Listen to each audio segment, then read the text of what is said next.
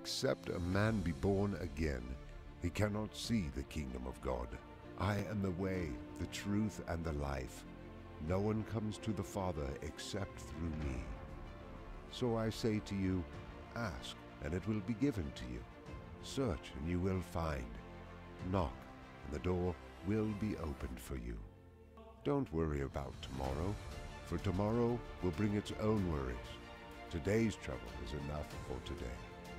Blessed are the merciful, for they will be shown mercy.